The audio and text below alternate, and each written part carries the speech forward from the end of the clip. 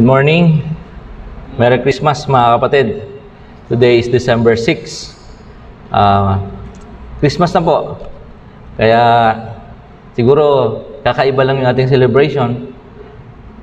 Pero yung essence ng Christmas, yung spirit ng Christmas ay mananatili sa bawat isa sa atin bilang mga tagasunod ng ating Panginoon. Dahil po very limited yung ating interaction na pwedeng gawin dito sa church, sa isa't isa. Bagamat masaya tayo na dinako tayo ng Panginoon ngayon, pwede ho ba pakikawayan nyo na lang po yung inyong mga nasa paligid, mga kapatid. At that would be enough for us to show our affection and love for each other. Na masaya tayo, nagkita-kita tayo ngayon. Alright? So, paalala lamang po, itong church natin ay mahigpit nating sinusunod yung mga protocols na uh, sinabi sa atin ng government. So, we are strictly implementing yung no hugging, wala muna tayong beso-beso, yung mga ganun po. Wala munang handshakes, no? Ah, kaway-kaway na lang po muna tayo dahil medyo limited po tayo sa atin pong ah, mga pwedeng gawing interaction. Masaya po tayo dahil idinako tayo ng Panginoon. He has restored this church, no? Dito sa lugar na to. He has allowed us to be gathered again for four consecutive consecutive Sundays. We are here, no? Ang prayer natin kay Lord, Lord, every Sunday kung bubuksan niyo yung church, then we will come. And for for four Sundays, the Lord has opened this church. Kaya ho tayo nandito ngayon. Katulad po ng aking babasahin ngayon, isa pong restorative work ng Panginoon. After the Babylonian captivity, Nehemiah was sent home by the king of Persia to rebuild the walls of Jerusalem. After how many years of captivity? Basahin ko po sa inyo mga kapatid. At mag-reflect po tayo dito sa kabutihang ito ng ating Panginoon. Nehemiah chapter uh, 9. Nehemiah chapter 9. Let's uh, begin reading uh, ver- from verse 29 down to 33.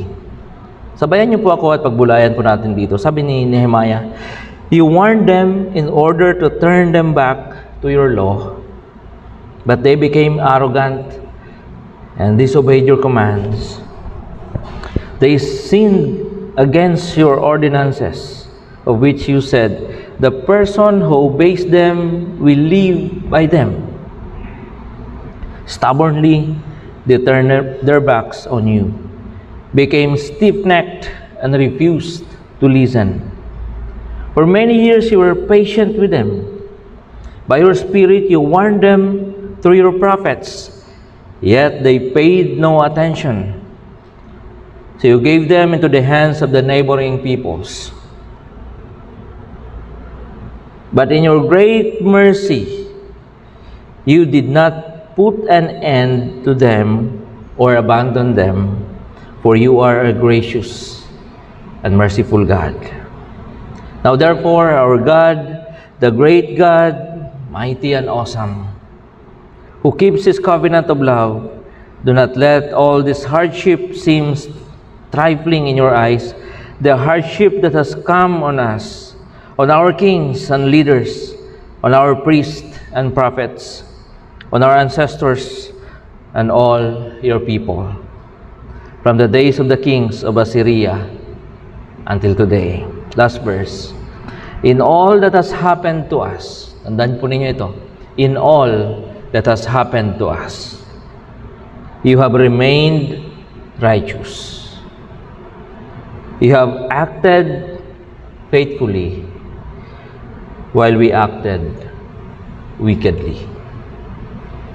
The Word of God. Nalangin po tayo. Panginoon, we are grateful, our hearts are joyous because you have allowed us, Lord, to be gathered once more in this place. Maraming mga nangyari sa amin, Panginoon, but because of your faithfulness, we are here. We celebrate, Lord, your presence, your grace, your compassion, your mercy. Papasalamat kami, Panginoon, kasi dininig po ninyo ang aming mga panalangin. tinulungan po ninyo ang inyong mga anak. Salamat Panginoon dahil ngayon ay December at sa aming kultura, ang December Panginoon ay masaya. Lord, hindi po mababawasan yung galak sa mga puso namin just because mayroong virus at may mga restrictions sa aming pong mga pagkilos. Kasi ang totoong joy, Lord, ay galing sa iyo. And you have firmly planted that joy in our hearts. So we will celebrate, Panginoon, minus the methods, minus the traditions, but our hearts are lifted up to you in worship. Thank you, Lord, for today. Panginoon, mangusap po kayo sa amin, pagpalain niyo po ang bawat isa. Gayon din po, Panginoon, yung mga hindi namin makakasama ngayon kasi hindi sila pasok doon sa age group na allowed na pumunta. Ang iba naman, Panginoon, din nila maiwan yung kanilang mga maliliit na mga anak because children cannot come also this church. We pray, Lord, that the same amount of your presence, of your blessing, of your favor be given, Panginoon, sa aming mga kapatid who are joining us online, Panginoon, via FB Live.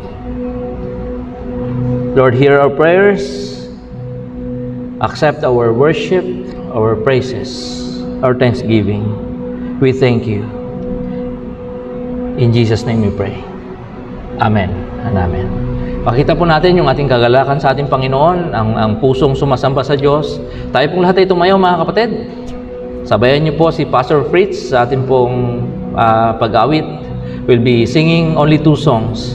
At I hope yun sa mga songs na yan, will be able to convey our thanksgiving and worship sa ating Panginoon.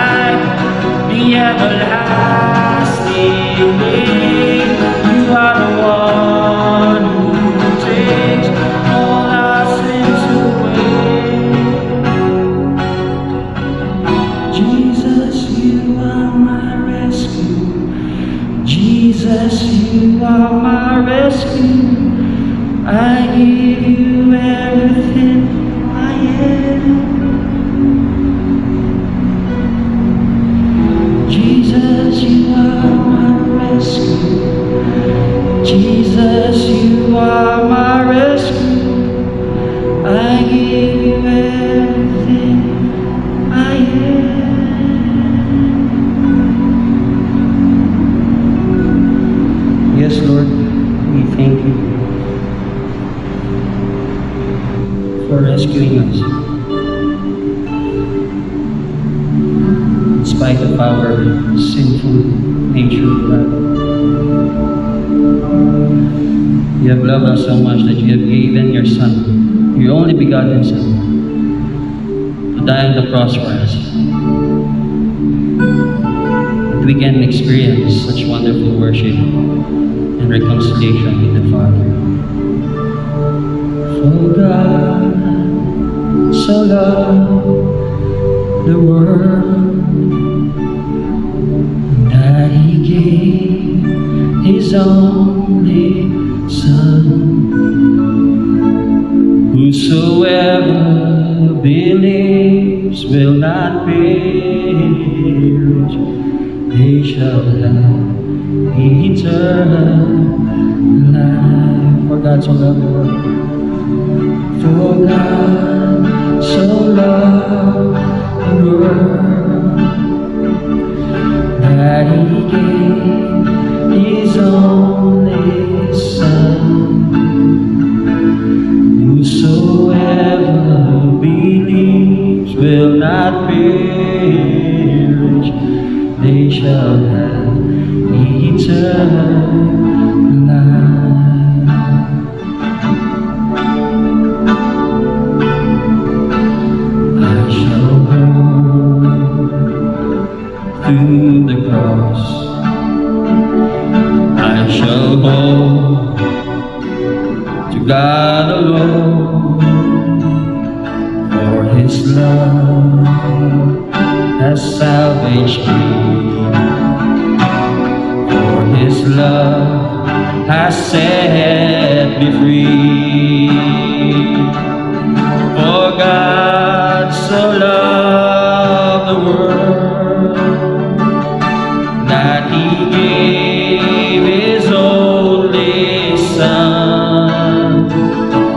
Whosoever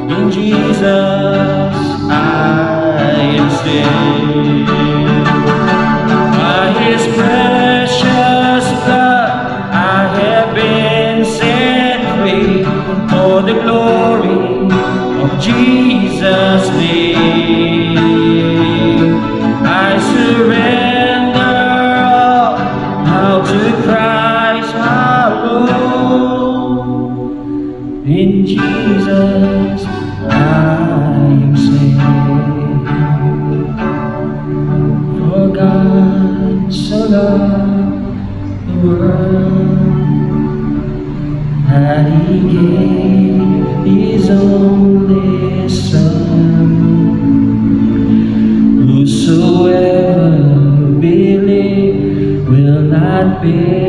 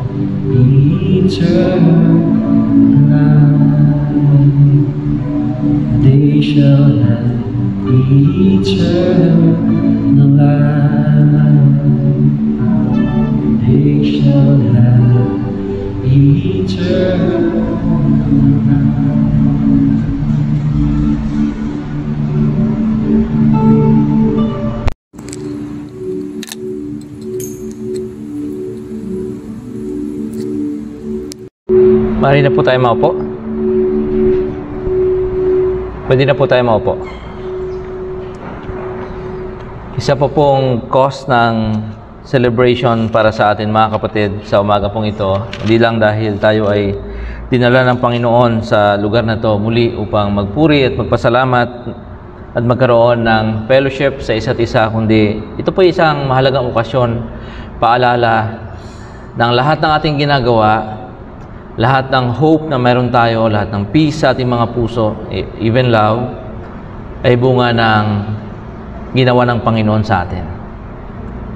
Bunga ng ating pagpasok sa kasunduan or covenant with our Lord Jesus Christ.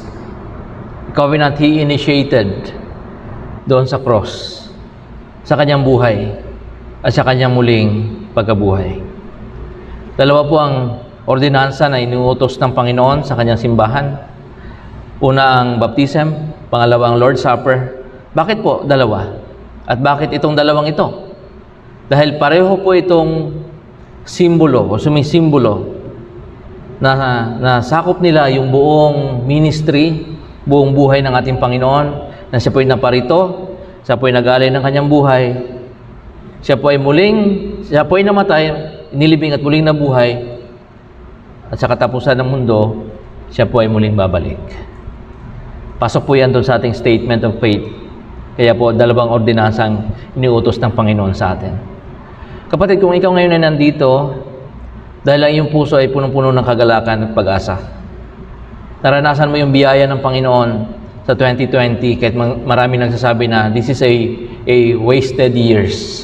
Pero para sa iyo, parang hindi naman. Ito ay years, year of blessings and prosperity and abundance and grace. Then, let me remind you na ang gagawin natin ngayon ay paalala sa iyo na only because of this. Only because Jesus gave His life for us that we are here. That you are enjoying the blessings from Him. Okay? Kung ikaw naman kapatid ay nandito ngayon dahil talagang punong-puno na yung puso mo ng sorrow. Yung bang, "Ay, bukas Monday na naman. wala pang bonus, wala pang 13th month, wala ka pang trabaho, walang business, ang daming modules, no? Daming requirements, nagtamba ka na, wala nang pag-asa. You are here because of this. This is where you get your hope. Na hindi ka pinabayaan ng Panginoon. Na hindi pinagkait ng Diyos ang kanyang sariling buhay, kanyang sariling anak para sa iyo. At yan po yung ating alalahanin ngayon. Isang paalala mula sa ating Apostol Pablo. Sabi niya, we ought to examine ourselves. Narapat naman talaga, no? Ano ba naging buhay natin the past seven days? Or kahit itong taon na to? Kasi parang may isang narrative lang tayo eh. COVID narrative. Yun lang yun. No? Ano ba nangyari sa'yo?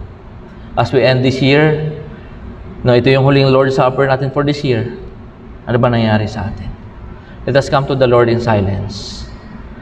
Manahimik po tayo. Kausapin natin ang Panginoon. Pasalamatan natin siya kung kailangan natin pasalamatan ng Panginoon.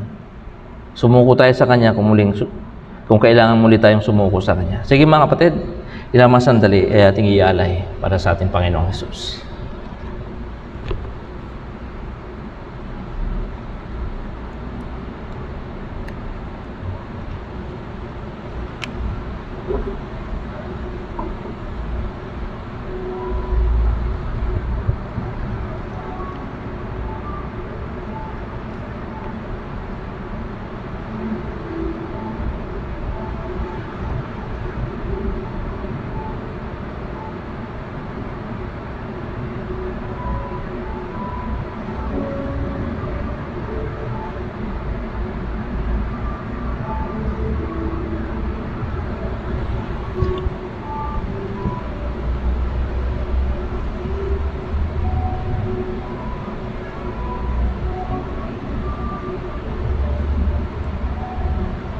Let us pray. Lord, we are coming to you for grace and for peace.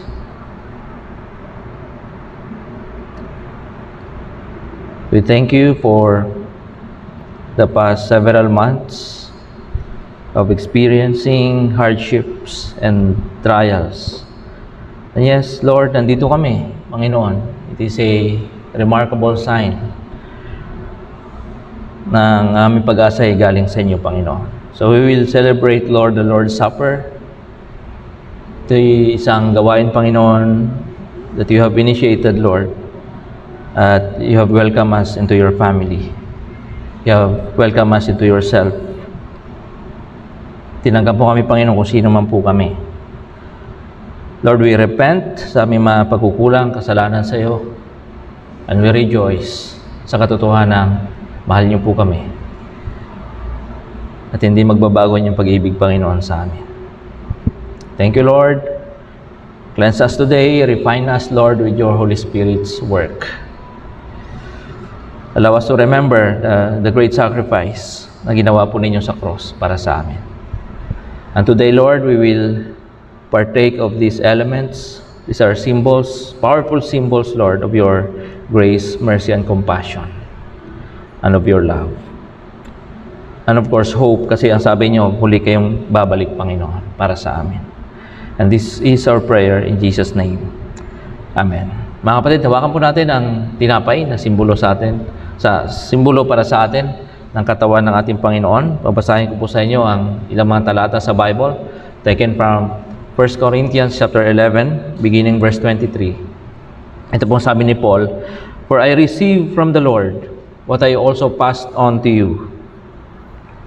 The Lord Jesus, on the night he was betrayed, took bread. And when he had given thanks, he broke it and said, This is my body, which is for you. Do this in remembrance of me. Kainin po natin.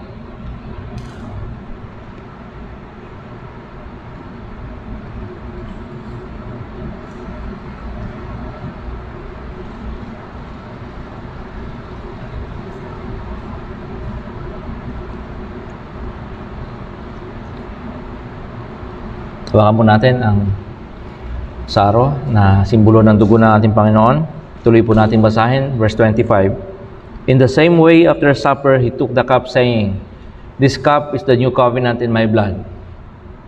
Do this whenever you drink it in remembrance of me. Alalahanin nat- natin ang Panginoon sa ating pag-inom ng saro.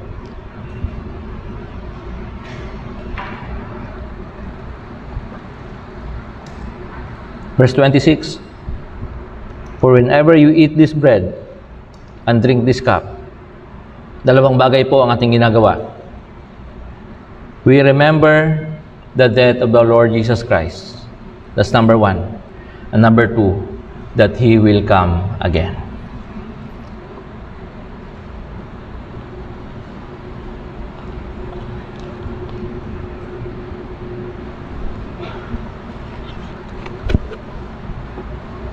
Pagpalain po ang ating mga buhay, ang bawat isa, sa ating pakikiisa sa gawain ng Lord's Supper.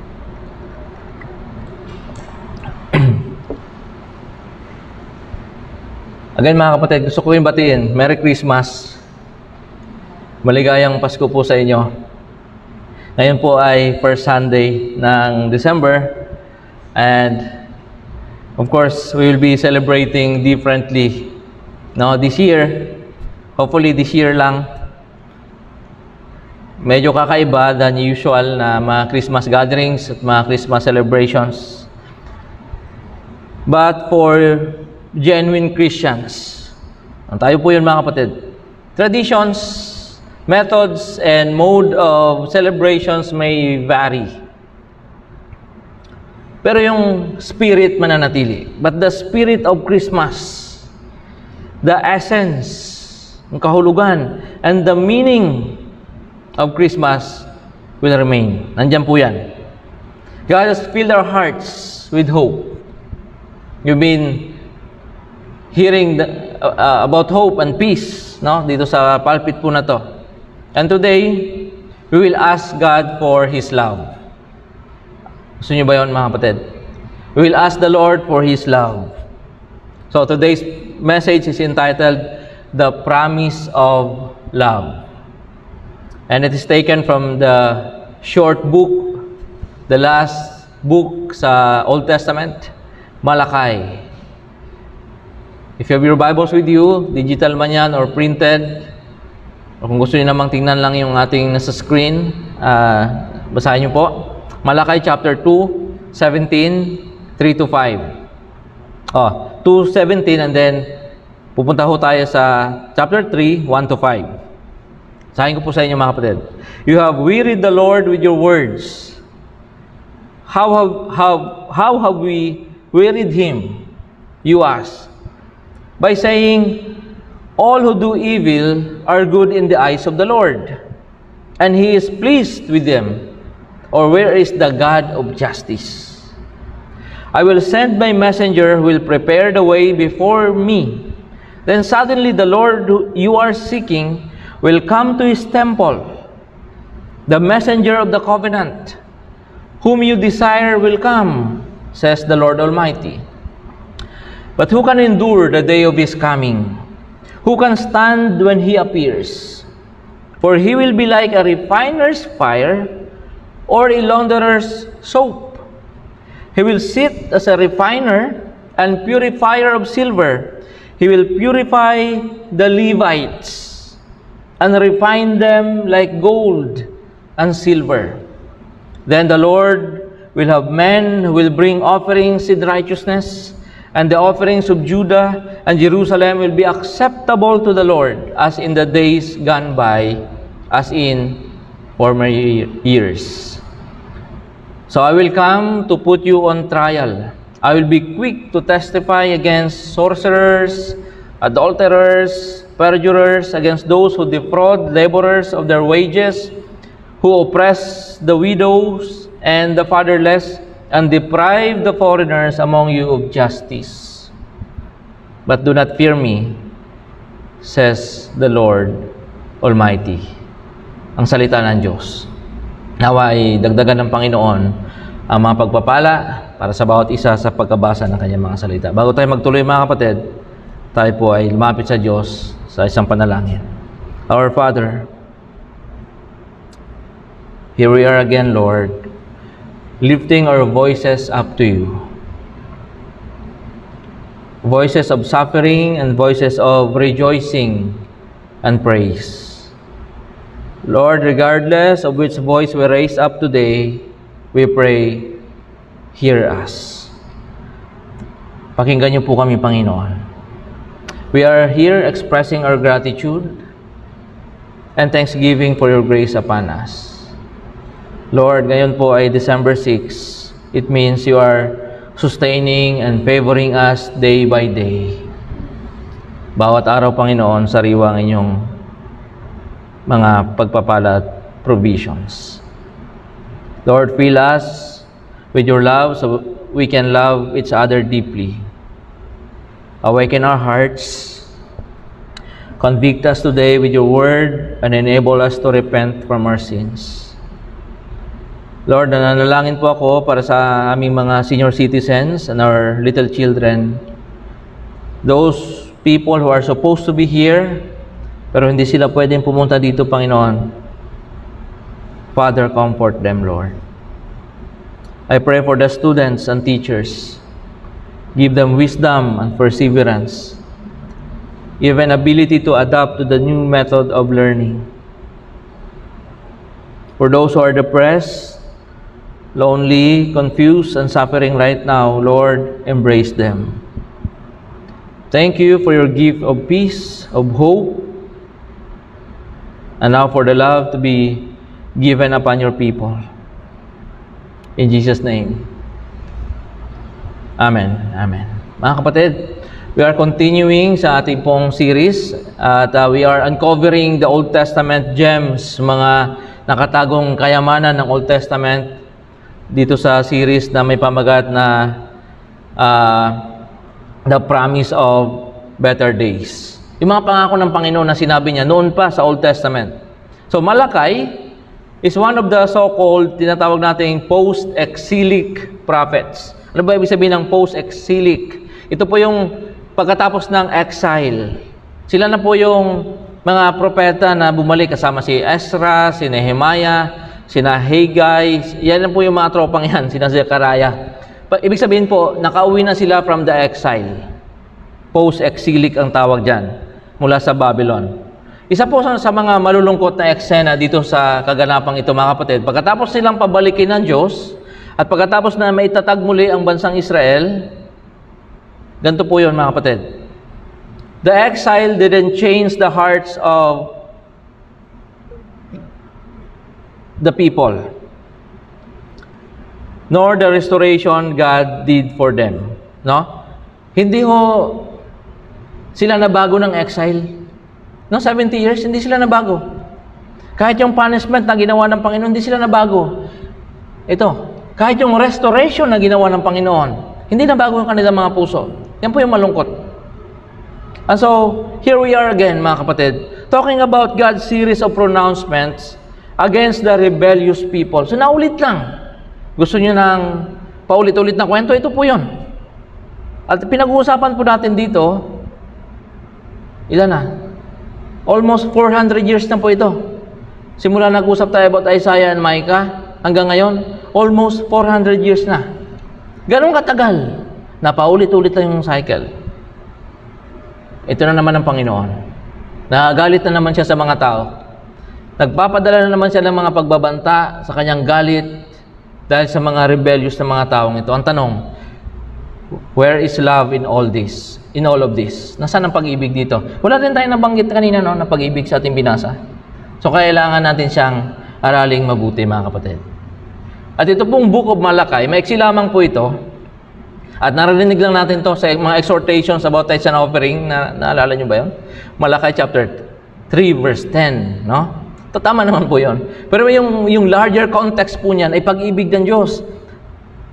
Kaya ang gusto kong sabihin sa atin ngayon, bagamat hindi natin directly binasa ngayon, doon sa ating teksto, atras tayo ng konti lang, nandun yung pag-ibig ng Diyos. At bago natin pakinggan yung kanyang galit, pakinggan muna natin yung kanyang pag-ibig. Number one, know that you are deeply loved by God. Alamin mo kapatid, at tanggapin mo sa iyong sarili ngayon, that you are deeply loved by God. Now, huwag mo akong tatanungin kung ano nakita ni Lord sa atin, kung bakit niya tayo minahal. Hindi ko rin alam. Pero ang alam natin, mahal tayo ng Diyos. Malalim yung kanyang pag-ibig sa atin.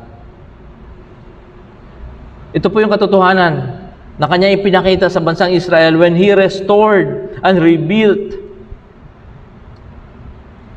the nation. It is easy to notice, mga kapatid, that the word or even the concept of love is absent in the verses na binasa natin, but the context of the whole book is about God's love. Yun po yung context ng Malakay, pag-ibig ng Diyos. Kaya nga sabi ko sa inyo kanina, basahin ko po muna sa inyo. Atras lang tayo ng konti, isang verse lang naman. Kasi ver, uh, chapter 2 tayo nang umpisa. How about chapter 1? Anong sinasabi ng chapter 1 sa atin? Ito po yung sabi ng Panginoon sa mga rebellious na mga tao. Chapter 1 verse 2. I have loved you, says the Lord. Inibig ko kayo, minahal ko kayo, ay yan ang sabi ng ating Panginoon. The entire book opened with God's declaration of His love for His people. Today, God is declaring His love for us. Wala ho tayong kapal ng mukha, no? Wala tayong lakas ng loob na mag-declare na mahal natin ang Diyos kasi sa ating mga gawi, sa ating mga iniisip minsan, nabibitray natin ang Panginoon. But the Lord is very explicit sa pagsasabing, I have loved you. And maybe, kailangan nating marinig yan ngayong umagang ito. Sa mga nangyayari sa mundong ito, kailangan natin marinig na mayroong umiibig at namamahal sa atin. And that is God. He wanted the Israelites to know that the nation is deeply loved by God. Mahal ng Panginoon, malalim ang kanyang pag-ibig sa bansang Israel at sa atin. God wants you to know that you are deeply loved by Him. At hindi nagbabago ang pag-ibig ng ating Panginoon sa atin. Yan po yung declaration ng Lord sa Book of Malakay. Kaya natin siya pinili na book ng pag-usapan ngayon when it comes up to uh, discussing about God's love. Now, the New Testament, mga kapatid, always begins in the same place. Laging sinasabi ng Bible, nauna lagi yung pag-ibig ng Diyos sa atin. We are loved before we are confronted. Minahal muna tayo ng Panginoon bago niya kinonfront yung mga maling pangyayari sa buhay mo. We are chosen before we are challenged. Pinili ka muna ng Panginoon bago niya challenge na i-align mo yung buhay mo sa kanyang kalooban. We are embraced and accepted before we are told to change. Hindi sinabi ng Panginoon, magbago ka muna bago kita tanggapin. Eh, hindi mangyayari ho yun. None of us will pass the test ng Panginoon kung gano'n ang kanyang sistema. Sabi ng Panginoon, mahal ko muna kayo bago kayo i-challenge, bago kayo pagsabihang, baguhin ninyo ang inyong mga buhay. At hindi ho natin kayang i-alter yung pag-ibig ng Panginoon. Laging ganyan yung konteksto ng Bible. Sabi ni Paul, sa Romans chapter 5 verse 8, sabi niya, But God demonstrates His own love for us in this, while we were still sinners, Christ died for us. Hindi sinabi ni Paul na, ay nung umukay-okay na yung ugali mo, hindi ka na nagpo-post ng kung ano-ano sa Facebook, namatay na si Lord para sa'yo. Tapos sabi ni Paul, when, God, when we were still sinners, nung ka tayo, nag enjoy pa tayo sa kasalanan. And God died for us. I mean, Christ died for us. That's how God portrayed yung kanyang pag-ibig sa atin. So why is this so important, mga kapatid? Bakit natin kailangan pag-usapan na pangunahin sa puso ng Panginoon ang pag-ibig at hindi ang parusa at galit? Because love, not guilt, not pressure, not demands or manipulation, but love is the best motivation for change. In-exile lang nga ng Panginoon, 70 years eh. Pinagpapatay pa nga yung mga kings nila. Hindi naman sila nabago din. Di ba? Ang best motivation for change is love. Pinakita yan sa atin ng Panginoon. Hindi siya nag-demand sa atin bago niya ibinigay ang kanyang sarili sa bawat isa. This Christmas season, aside from praying for peace and hope from the Lord, mga kapatid, I am inviting you all to reflect, to savor, enjoy, and embrace the love of God which He has communicated, freely distributed, pinamahagi niya sa atin, and planted in our hearts. Tinanim ng Panginoon sa ating mga puso. Alamin mo kapatid, maniwala ka na ikaw ay mahal ng Diyos. Dahil hindi naman naiiba yung konteksto mo sa konteksto ni Malakay, ng mga tao noon. Ganon din tayo. Rebellious din tayo paminsan-minsan. Or siguro madalas pa nga. Pero ang declaration ng Panginoon, I have loved you. Minahal ko na kayo. However, know also that God's love intends to present us as holy and blameless before Him. Huwag mo kalilimutan na yung pag-ibig ng Panginoon, ang purpose niyan, upang dalhin ka at iharap ka sa Diyos bilang banal at walang kapintasan. Baka masyado ka na-excite sa pag-ibig ng Panginoon. Iniisip mo, nandun ka na sa teritoryo na, ah, ano pala yan eh. Tinotolerate niya pala yung aking pag-uugali at ang aking mga kasalanan. Hindi po mga kapatid. Ang intensyon ng pag-ibig ng Panginoon, iharap ka sa Diyos na banal at walang kapintasan. Now, the reality is God's love can sometimes be tough. Minsan, ang pag-ibig ng Diyos, dumarating sa atin hindi yakap, kundi gasgas, tsaka bukol, paminsan-minsan. Kanina sabi ko, sana mag-sink in sa atin na anuman ang konteksto mo, anuman ang kalagayan mo, anuman sitwasyon mo sa buhay ngayon, you are loved by God. Pero, pangalawa, know also that God's love refines and washes us. Ang totoong pag-ibig, palalabasin niya yung totoong ginto sa iyo. Yung totoong, kung ano man yung may pinakamataas na value sa ating buhay. Now, let us explore the context of this short book. Ganito po yan mga kapatid. Sinabi ng Panginoon, I have loved you pero ang kasunod noon, galit na ng Diyos. Bakit po? Ganito, ganito po yan. The temple and the city have been rebuilt already. Di ba? Na-access sila ng 587, 586 BC. 516, nakauwi na sila. Yung iba, may mga nauna kasi by batch yun. 516 BC, naitayo na yung temple. Unti-unti na rin naitayo yung mga pamayanan doon sa panahon ni prophets, ni na prophets Haggai or Haggai and Zechariah. Yung mga maiksing books na yan, mga powerful books yan sa Old Testament. Huwag niyong pinabaliwala lang yung mga books na yan. No, sila po yun. So, naitayo yung temple, naitayo na yung Jerusalem. Ito. But the hearts and souls of the people remained in ruins.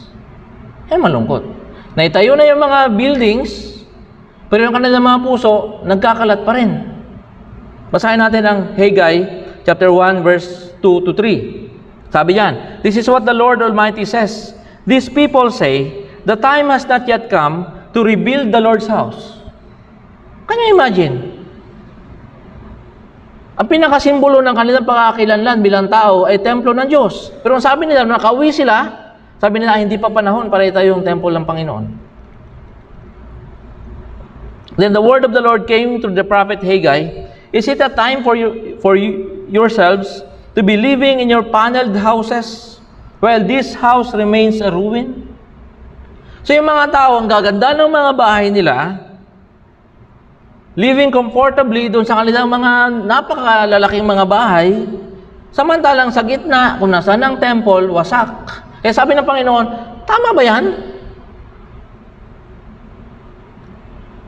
Now, yung unang senaryo na sinasabi ko dito, we see yung mga tao who are busy rebuilding their houses and lives, but the temple, pinabayaan nila. And the Lord spoke to them. Kinastigo sila ng Panginoon. They were chastised by God through Prophet Haggai. Haggai and Malakay, siguro mga 80 to 100 years yung pagitan po nila. And the Lord spoke to them Unti-unti, mga tao, tinabla ng iya. They rebuilt the temple. Naitayo. Ito pa rin. But the corruption continued. Inside the temple,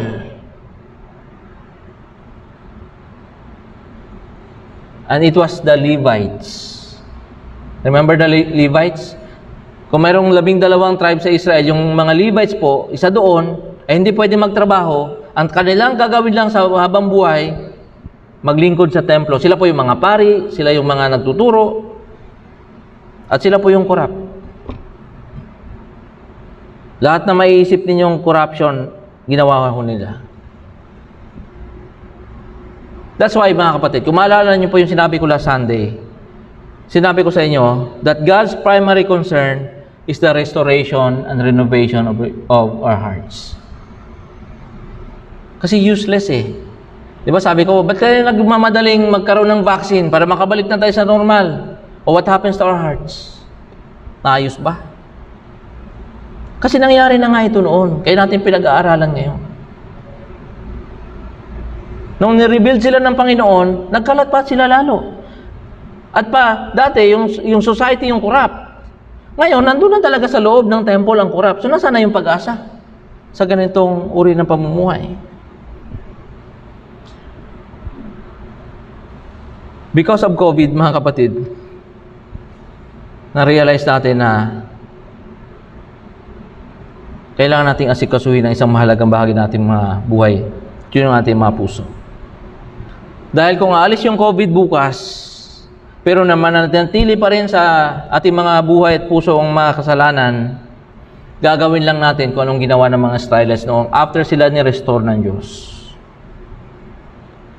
Kaya basahin natin muli ang Malakay chapter 3, verse 1 to 3. Kasi ito yung eksena niyan eh. Masyadong corrupt na yung mga na sa loob ng temple. Sila yung mga pastor, mga pari, mga tagapagturo. Nandun na yung corruption sa mismong loob ng temple. Sabi dito, I will send my messenger who will prepare the way before me. Then suddenly the Lord you are seeking will come to his temple.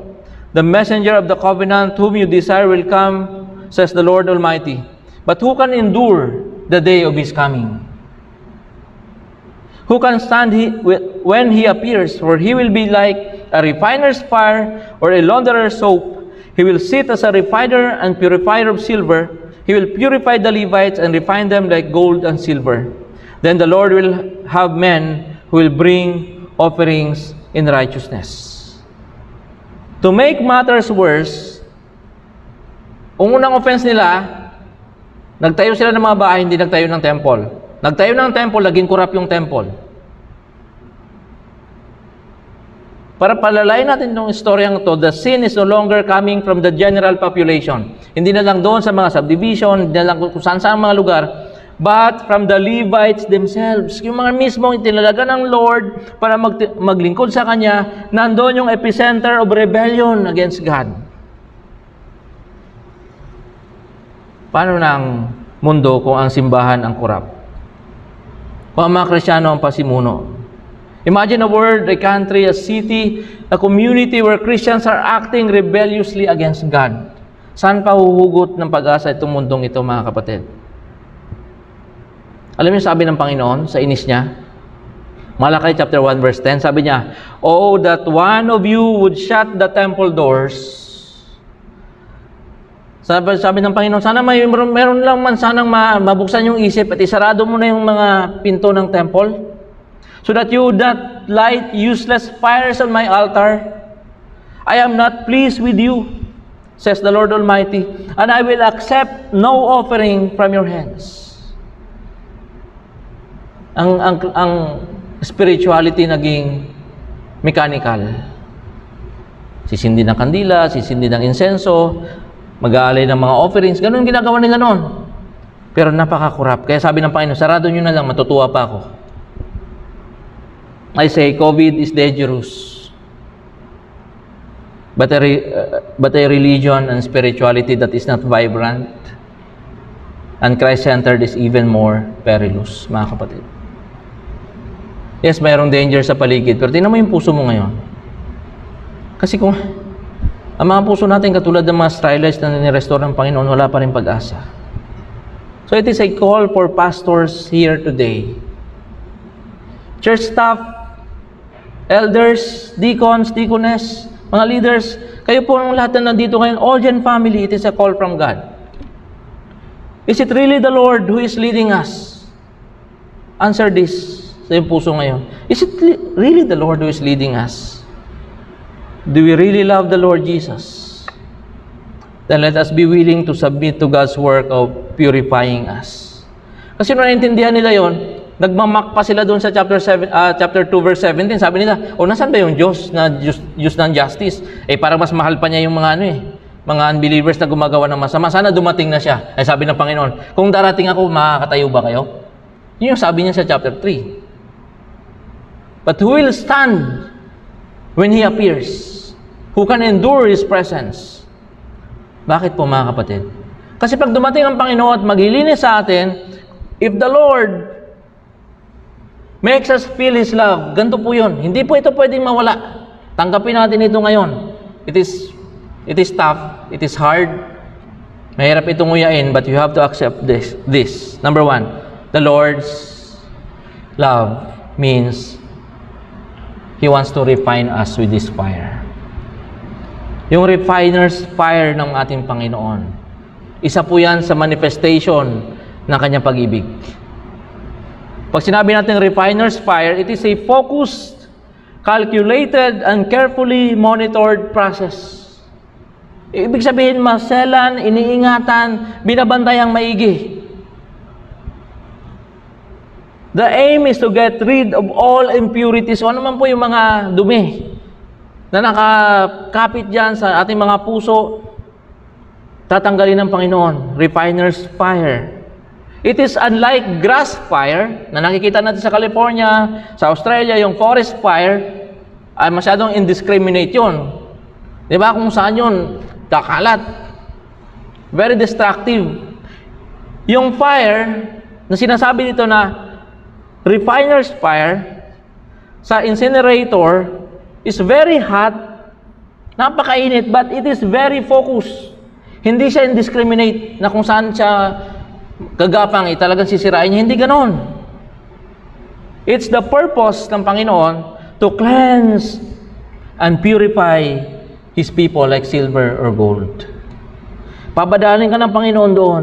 Very focused, pero babantayan ng Panginoon. Di ba? Ang sabi niya, I will sit as a refiner's fire. I will sit there, babantayan ko yung process. Meron po isang babae sa England na hindi niya makuha itong konseptong ito, no? Nung pinrich ng pastor niya. So, nagpunta siya sa blacksmith, yung panday na gumagawa nito. Sabi niya, totoo ba talaga na pagkagagawa ka ng, ng silver o nagre-refine ka ng silver o tsaka gold, eh talaga umuupo ka doon sa harap ng, ng apoy. Di ba mainit yon?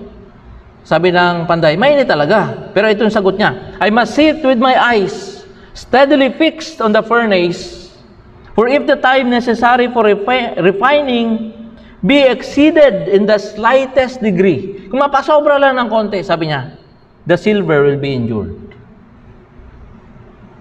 Ah, sinasabi ng Panginoon sa atin, refiner's fire. Yes, mainit, pero tanggal lahat ng dumi. Very focused. Naghanap po tayo ng expression ng love ng Panginoon. Tanggapin natin na ito ay kasama sa proseso. Kasi kung tayo lang, di natin isusuko eh. Nag-enjoy nga tayo sa ating mga ginagawa, di ba? That's why, ang Panginoon, sinasabi niya, dadaan kayo dito. Kung gusto niyo maranasan ng totoo yung aking pag-ibig, hindi niyo ito pwedeng skip itong, itong process na to. Refiner's fire. Pangalawa, launderer's soap. Ano naman po ito? Hindi po ito yung iniisip mong sabon ngayon na gentle sa kamay, mild, no? Hindi po ito. It's a variant of alkaline substance daw. Bleach, more on, more on bleach or dye. It is a substance used to remove dirts and stains in the hands of a blacksmith. Diba ma, dumi, may kalawang kung ano-ano, grasa siguro. So yun yung panghugas sa kamay niya. Chemical ito mga kapatid. Nag-exist na to nung kanilang kapanahunan. Sa mga damit, ganun din. Yung mga sobrang dumi ng mga damit na talaga, nung pag tinapon mo yung damit, tatayo na siya sa sobrang dumi. Di ba? Yun po yun. So, ganito yung process ng launderer soap. The clothes will be washed. I-apply yung soap na yon. Trampled underfoot. Apakapakan nyo, sobrang dumi. Then, spread out on the ground to be bleached by the sun. Again, it is a tedious process. Imagine mo kung gawin sa'yo yan. Ikula ka pa ni Lord sa ano, diyan sa Aguinaldo Highway. Di ba? Pero ang sabi ng Panginoon, ganito siya. Kung gusto niyo maranasan yung aking pag-ibig, kasama ito para tumino kayo at totoong mamuhay kayo na may takot sa akin. parang malungkot naman ng December natin ito, Pastor. Kukula tayo ni Lord. No, tadadaanin tayo sa pugon. Eh, ganun talaga eh. Kasi kung hindi, uulitin lang natin kung anong nangyari sa Israel after 70 years, hindi pa rin sila natuto. So, life lessons dito mga kapatid. Number one, it is hard work and involves care. Pag sinabi natin pag-ibig ng Panginoon, dadaan tayo sa pag-ibig ng Panginoon, ganito yan. Precision and certain level of attentiveness. Hindi ka pababayaan ng Panginoon. Ilalagay ka niya dyan, pero hindi ka naman niya isusunog. Huwag kang magalala, hindi ka matututong. Mawala lang siguro yung mga gluta na nilagay mo sa katawan mo, pero at least yung totoong balat nandyan. Number two, the aim is to purify and cleanse, not to destroy. Linisin, hindi para sirain. Number three, trials and sufferings are but a tool. No? It is God Himself who does the delicate work of cleansing and purifying. So kung dumaraan ka dyan, tulang niya ng Panginoon. Pero yung mismong kamay niya, yun po talaga yung naglilinis sa atin. Thus, present sufferings are not without a word for a Christian. The chastening hand is always controlled by a loving heart. Tanda mo yan kapatid. Pangapat. Yung nagpaparusang kamay ay laging kinokontrol ng isang mapagmahal na puso. Tanungin mo sarili mo nga ngayon. Ulitin ko yung statement ko kanina. Bakit ka ba excited sa vaccine? Tanungin kita ngayon, kung talaga nandyan na yan, where is God on my list of priorities after COVID? Nasaan ang Diyos pagkatapos ng COVID? We must be excited in having our hearts renovated first. Yun muna po tayo mga kapatid. Pakiusap. Iparenovate muna natin yung ating mga puso sa Panginoon. Only that way, we can face different seasons of life, be it seasons of harvest or seasons of drought. No? Seasons of harvest, seasons of drought, ha, maharap natin kasi nalinis ng Panginoon yung ating mga puso. Ito lang, gusto kong i-share sa inyo. Isa sa mga bagay na natutunan ko sa aking paglilingkod sa Panginoon. Hardships, sickness, bankruptcy, even prosperity can never change us. Maniwala ka. Sabi nila, ay, mag- magbabago na yung tao niya, nagkasakit na eh. Nag 50-50 na, magbu- hindi ko totoo yun. Maniwala ka sa akin. Ayan, na nalugi yung negosyo, magbabago na yan. Hindi totoo yan. It is a pure encounter with Jesus alone that can that can change a person from inside out. Habang hindi niya talaga na-encounter ang Panginoon, kahit namatay na yan, na, nasunog na sa impyerno ng isang libong taon, bumalik dito, kung wala talaga ang Panginoon, wala talaga. Only Jesus can, the only encounter with Jesus can change a person inside out. At sana mga kapatid, na-encounter natin ang Panginoon itong mga seasons ng lockdown. And while we can affirm that the coming of Jesus Christ, the Prince of Peace, is good news of great joy for all people, this doesn't mean that Christ's presence demands nothing or leave us unchanged. Ha? Akala lang natin ganun, no? Ah, nandito ang Panginoon, mahal tayo ng Panginoon. Pero alam nyo, ang totoo lang, hindi tayo iiwan ng Panginoon na hindi nababago yung ating mga buhay. The good news is indeed that we will not be left unchanged, but will be reformed and refined to become like Christ. So what happens after God's children? Ano, ano mangyayari sa atin pag tayo po ay dilinis at hinugasan ng Panginoon? Sabi niyan, God will again accept our worship and service to Him. Verse 4, sabi niya, And the offerings of Judah and Jerusalem will be acceptable to the Lord as in the days gone by, as in former years. Bali, wala pala sa la- lahat ng ginagawa natin kung hindi na bago, hindi tayo nilinis ng ating Panginoon. Lastly, mabilis lang po ito. Know that God's love comes to the unbelievers as judgment. Sa atin paglilinis, pinupurify tayo ng Panginoon. Sa unbelievers who are mocking, nasan ba ang Diyos? Parang mas mahal pa niya yung mga, ng mga masasama kaysa sa mga mabubuti. God's love will come to them as judgment. The people unjustly and with unrefined arrogance taunt and mock the Lord with their empty words of accusations for His silence. Sabi nila, where is God? Kaya basahin natin. Verse 17 ng chapter 2. You have wearied the Lord with your words. How have you wearied Him, you ask? By saying all who do evil are good in the eyes of the Lord. Ito mga taong sabi na, de, gusto nga lang Panginoon, proud pa nga siya dyan sa mga masasama eh. And He is pleased with them. Or where is the God of justice? The unbelievers, on their impure and unwashed status, yung mga hindi hinugasan, hindi na purify ng Panginoon, would be treated according to what they foolishly asked the Lord. Kung anong hiningi, hiningi nila sa Panginoon, yun ang ibibigay. Because in verse 5, sabi diyan, So I will come to put you on trial.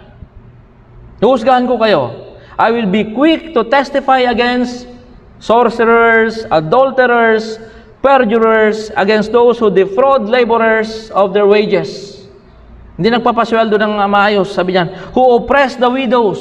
Mahirap na nga, inaapi pa mga fatherless and deprive foreigners among you of justice. But do not fear me, says the Lord. God's love pa rin po yun. Akala niyo yung pag-ibig ng Panginoon laging embrace? Meron din pong sampal at saka tadyak. That's part of God's love. Kaya nga, yung mga nagtotaunt sa ating Panginoon, sinasabi na, where is God of justice? Be careful what you ask for. Because God's punishment is another way of expressing His love. Pag nakita mo isang taong pinaparusahan ng Panginoon, kasama po yan sa expression ng love ng Panginoon. Mga kapatid, God's children will be refined and washed through suffering and pain. There is no other way. Pastor, paano ba tayo dinidisiplina ng Panginoon? Suffering. Wala nang ibang paraan. The unbelievers will be judged severely and cruelly. Ay, pag nagparusa na naman ng Panginoon, talagang matindi rin. That's what we mean by God's love. Kung nasisense mo ngayon spiritually that you are being purified, then God is loving you. Ganun lang siya kasimple. Ganito po yan kasi mga kapatid. God's love is like a coin. Nakakita na kayo ng coin, di ba? One side is compassion, loving kindness, mercy, favor, and grace. While the other side is punishment, wrath, and justice. Hindi mo pwedeng paghiwalayin yon, kapatid. Bilang pagtatapos, as prophesied, God will purify and wash His people. And I think He's doing it now. Kung naghanap tayo, Lord, nasa ba yung pag-ibig mo? Hindi ko naramdaman. At tayo ay numadaan sa ganitong paghihirap, it is God's expression of His love. He's purifying us, He's cleansing us. It will be intense. Matindi ang ating pagdadaanan, but it is the only way we can fully experience God's love. It is the only way we can experience God's love. Nawa mga kapatid, sa pagpasok ng December at pagtatapos ng taon, tingnan natin ang lahat na nangyari sa atin bilang package galing sa Diyos at pangunahin dyan ang kanyang pag-ibig. Maganda umaga po sa inyong lahat. Pagpalayan tayo ng Panginoon na maranasan natin sa ating mga puso ang kanyang pag-ibig. Tayo pong lahat ay tumayo para sa ating closing song.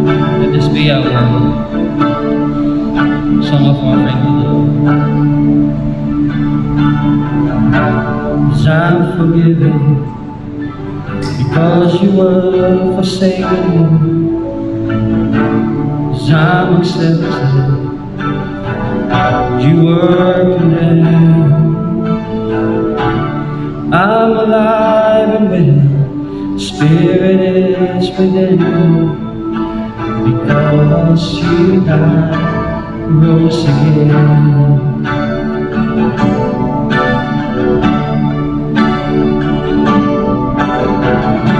Was I forgiven because you were forsaken? I'm accepted.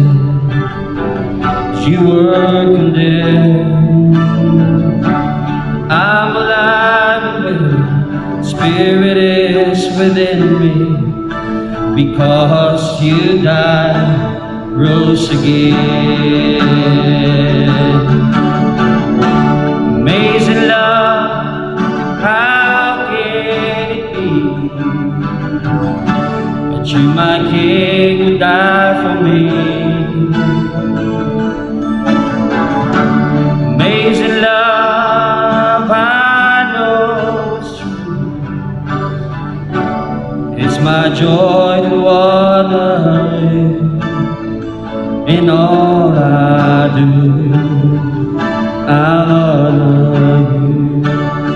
sing from the top. Was I forgiven because you were forsaken? I'm accepted.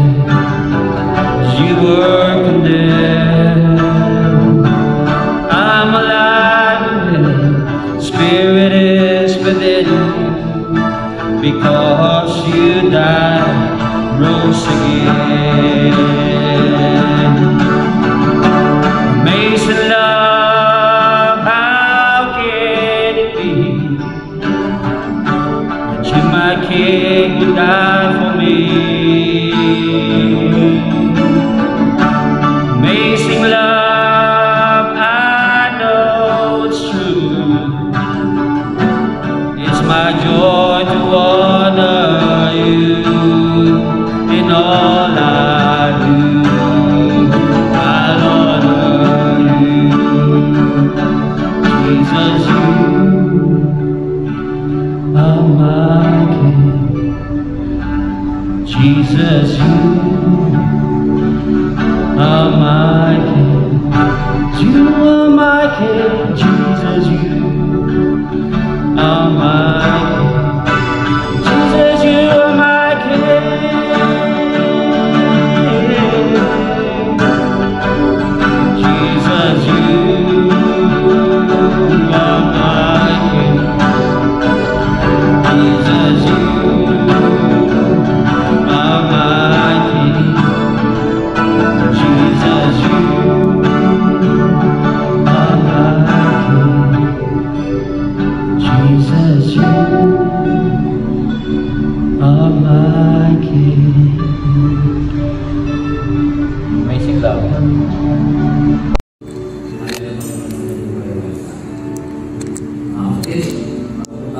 Tapos, at bago ko ibigay ang benediction ng Panginoon, isingit ko lang po ito, paalala sa atin. Ngayon po yung umpisa ng ating everybody's birthday, kung saan yung ating malilikom, ay ating pong itutulong doon sa mga nasalanta ng bagyo sa Bicol, and dito rin po sa North, ah, sa may bandang Cagayan.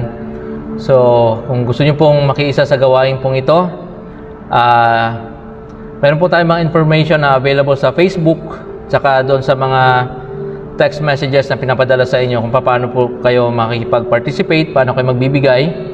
At kung kayo nandito na ngayon, pwede nyo rin pong ihulog yung inyong offering doon po sa mga boxes sa ah, may entrance. Ah, yung, yung isang box po doon sa may bandang kanan, I think. Yun po yung intended para doon sa ating pong relief operation. Okay? Let's come to the Lord in prayer. Lord,